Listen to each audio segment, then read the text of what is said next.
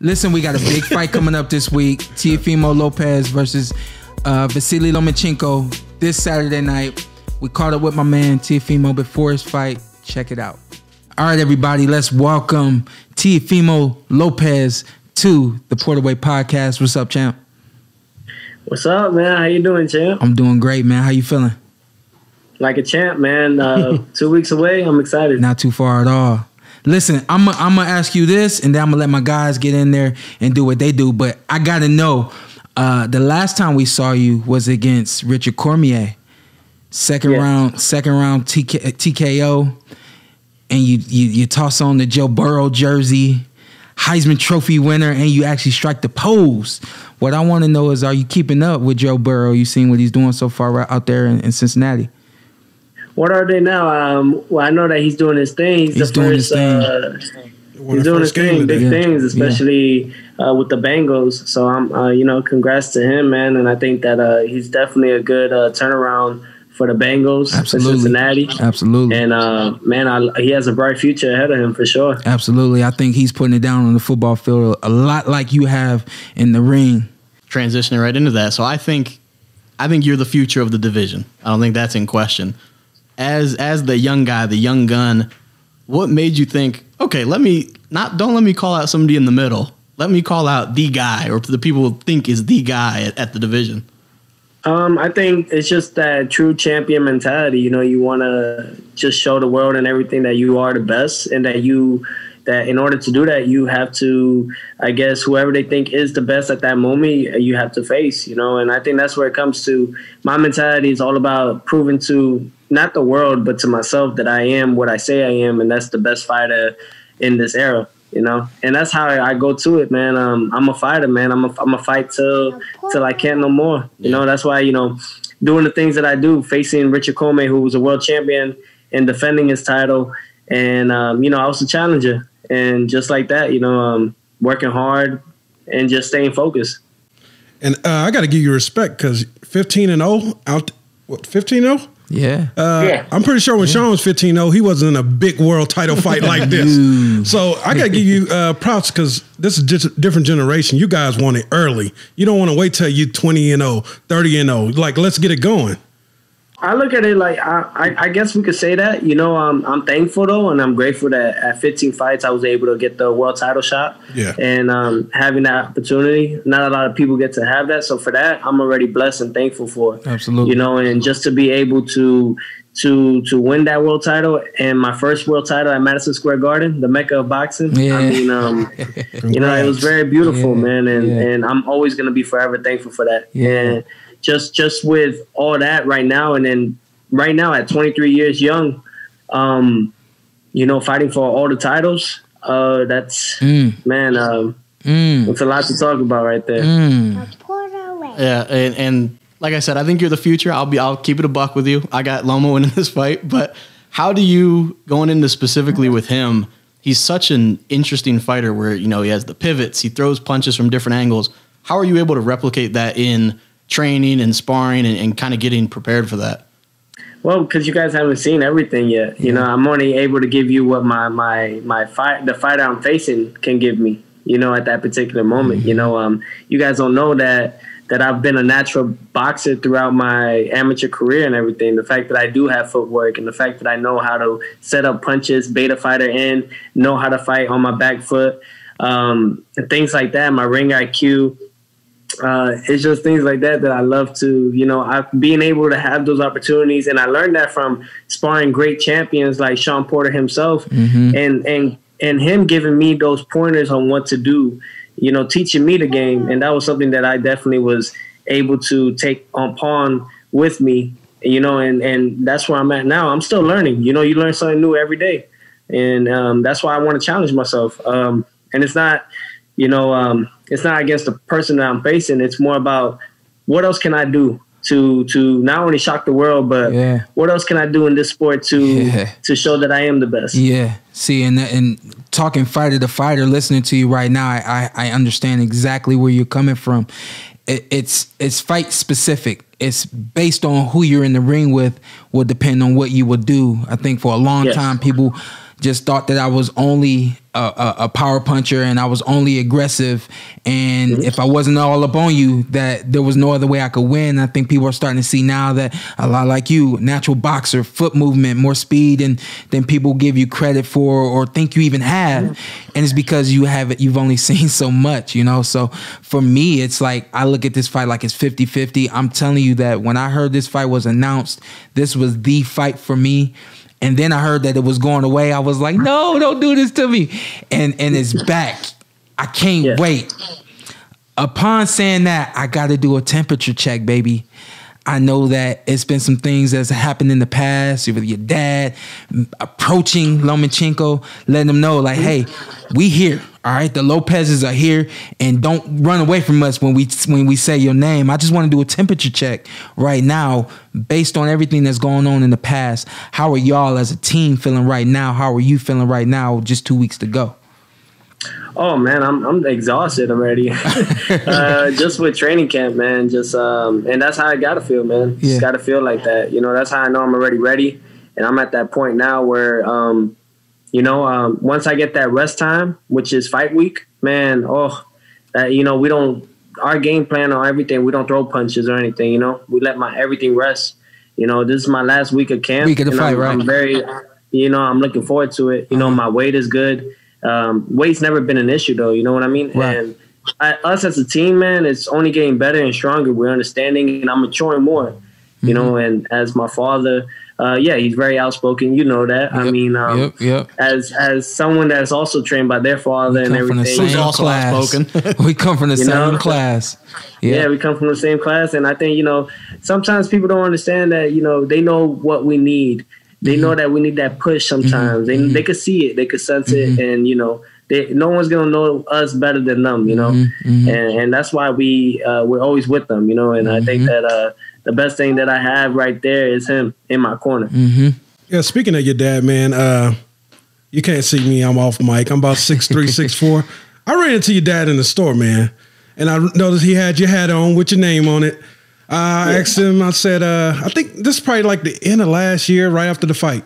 I kind of worded him like, uh, "You guys kind of ready to go." I forgot exactly what I said, but I respect my elders, just being from Louisiana, and I remember the energy came from him. I didn't want to say nothing else. He was just like, like we've been in the ring with Shawn Porter because I'm like I'm friends with Shawn. I've been in the ring from. He was letting me like his energy was ready to go. A ye- that was nine months ago. Is he always like that? Just intense. And I started, man. He's been like that since I I, I started boxing. yeah. you know, and uh, he's that he's never changed. That's why when people ask me if I feel pressure or anything, I'm like, nah. I'm, I was I think I was just raised with pressure my whole life. Just the way he speaks and the way he's very outspoken about things. It's like, you know, he, you know, they put you in a situation. You're like, Yeah. ah, Yeah. I got to do it though. Yep. You know, um, yep. I'm not gonna I'm not gonna fold, and that's just where I come to. You know that mentality. I think that uh, throughout the years, though, boxing has. Um, not only has it made me grown outside, uh, outside as just a human being, but also as an athlete and understanding the game and and taking all those all those things that I need to mature myself to realize that hey, like this could happen if you don't do this right, and if you don't take care of your body, you know you won't be able to do this and, and X, Y, and Z. So you know, um, he's always been like that though. My father, man, um, but he brings that energy, man. He brings the energy that I need, and he brings the energy that the fight, fight fans need. Yeah, I think I don't even. I don't think I got gas. I think I just walked out the gas station. so, so, so you're younger than all three of us, but you got kind of an old school vibe to you, a hard, hard working vibe. New York guy, Yeah. top five New York rappers all time. Who you got? Nas, um, of course, you got Tupac, you got Biggie, um, Mobb Deep, and who else I could say is uh, um, DMX, one of my Okay. favorites. Nice. I respect the list. Shook ones. Is that is is, is Loma? Is he shook ones before this fight? Oh hell yeah, yeah. shook one man. I love it. No such thing as halfway crooks. Listen, I'm not Uh-huh. gonna I'm not gonna keep you all night, man. We appreciate your time. It's good to What? just. I got more time. I know, up? man. Uh, You want to keep rocking? We can keep rocking, man. I know how you get down, man. You you'll go to the- to because I'm the same way, man. We like I said before, we come from the same class, and as a as a fighter, uh, as uh, now an analyst of boxing, when I ana oh my god, when I analyze this fight, man, I love it. I'm telling you, this this is the fight of the year for me. And I have no doubt that y'all are both gonna go in there and put it down the way the fans will want you to, the way your colleagues, the other fighters will want you to. And uh, and I'm pulling for you, and I'm telling you that even though I feel that Lomachenko is is the, I have this fight 45-55 Lomachenko, and even and, and, and, and even in saying that, and it ain't because I know you, it's because I see it like this the underdog spirit. I see the I see the fight that you've been through in and out of the ring. I know where you come from without without standing next to you and walking with you all the every step of the way. You know what I mean? Because we come from the same class. So I admire you, man. I admire your work. I admire the fact that you enjoy it when you in there doing it. Not too many guys can do that, man. This is a hard sport and you know it. Not too many guys can get in there and have fun while they do it. I think that that's what makes you dangerous.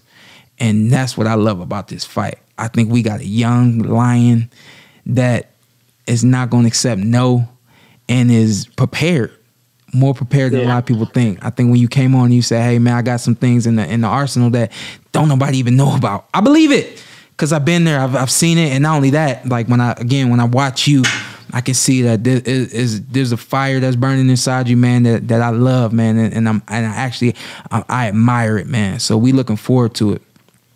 I wanna, you know, though I wanna, I wanna say something Yeah, about ahead. uh, not to blow smoke up here, you know, anywhere up Yeah. there, you know, just to let you know though. Um, before I turned pro, and I was, I think I was still doing the Olympics, and uh, that's when I think you were preparing for the Keith Thurman fight. Oh, And we was then trying I to figure out when we spar. It was Keith Thurman. Yeah. huh? Heard you touched him up Keith too. Thurman. Oh yeah, your, your dad let me know that in the gas station. nah, but uh, you know, it was you know, it was great work, first and foremost. And Mm-hmm. but the thing that I noticed though around that time was even after the fight with you and Keith Thurman, and you put, you guys put on a show. Yeah. Um, but like you always do, Mm-hmm. and um. One thing that I love and I admire, and that's one thing that I took with me through through this point in time, and I'm always going to is someone like yourself that is a true champion, a world champion, a world class act, but the way you carry yourself afterwards Mm-hmm. against uh, against anything and just being around people, the way you are, the way you carry as a humble person, Yes. I um I was like, man, he makes it big and he makes he makes good money, but the fact that he still holds himself that way, he Yes, doesn't sir. let anything get up to his head. Yes, sir. I was like, I could do the same. Yes, sir. I appreciate And because of man. that, you know, I know I, I'm an asshole, whatever it is in the when I do my sport. Yeah. But outside of it is a different thing, and Yeah. and, and that comes all because of you. Well, you know, and I grab that. I appreciate I grabbed that. it a man. lot. I really do appreciate that. And that's why we named this podcast The Porter Way. I think we want to bring something new and fresh and different to the viewers, to the listeners. And I think that who I am with everything that you've described, that that really is the Porter Way. And that's how we want things to be around here. Let me ask you that since since you're not going anywhere. I'm I'm keeping you for one more minute. Do you No, go think, ahead, whatever you want. do you think It's that the the image that you have right now, the things that you are portraying in the ring and outside the ring, do you think you're showing everybody who you want them to remember you as? Um, yeah, you know, I think that we still have that progress. We still have so much more to show. You know, that's why I keep that hunger and that just to understand that, hey, like, you know, I am a world champion today, Mm-hmm. you know, and but I'm a world champion at life. Mhm. And the fact that Yes, just to prevail through anything and just go through that adversity, uh, and um, just to know that you know the thing that I want to do. Um, one thing for sure, for certain, is that with success, I'm never going to be satisfied because we're always going to want more. With success, we always want more. Mm-hmm. You know, Mhm. after this, I have all the belts. I want more at 140. Mhm. You know, things like that. So outside of that, though, I'll definitely, I just want to show everybody. I'll be gone Huh? when you get to 47. I'll be gone. Wait, go ahead, man. What you want to? Yeah, go ahead. Yeah. No, but um, yeah, man. I Said just you want to show It's more about you know you know what it is though. It's more about the fact that we can't take we can only do so much in the sport that we love. Mhm. You know what I mean? Mm-hmm. Become uh, world champions and all those things and have all those accolades. But the thing is, is the fact that we have also a voice to help our communities out there. Yeah. You know, and that's the most important part. Mm-hmm. You know, and I think that, you know, you don't need to take photos about it. Just do it and no, Yep. you know, and in, in case somebody, and if someone catches you doing it, then they caught you doing it. Mm-hmm. But as long as you're doing a good deed, you know, and it's not for publicity or anything, it's Mm-hmm. really just from coming from the heart. And that's my, my main goal is to do things like that. Me, with someone that has asthma, you know, I'm definitely going to put um, donations and I'm definitely going to do all those things Yep. for those that have asthma and let them know that, hey, even though I'm a world champion, I have asthma and everything. Absolutely. Um, you know, nothing. If I have asthma, it shouldn't stop you to keep doing what you're doing. You Absolutely. know, and whatever you're pursuing, and that's what it comes to, man. It's all about giving back. It ain't Mm-hmm. really about taking everything. We can take all we can from the sport. We can take those punches, everything. It's gonna stay with us. Yeah. But the fact is, what you what are you gonna do afterwards? You know, what are you gonna do to to be remembered as a people's champion? the thing I tell everybody that I come in contact with, that's like we, all of us, we do more than just hit each other.